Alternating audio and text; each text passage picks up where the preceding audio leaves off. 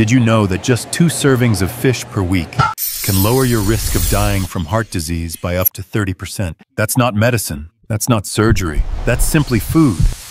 And one of the most powerful is salmon. Here's why it matters. As we get older, blood vessels stiffen, inflammation builds, and our heartbeat becomes less steady. These changes make seniors especially vulnerable to heart attacks and strokes. But salmon delivers exactly what your heart needs. Omega-3 fatty acids, EPA and DHA. EPA reduces inflammation in blood vessels, slowing plaque buildup. DHA strengthens heart cell membranes, keeping your heartbeat stable.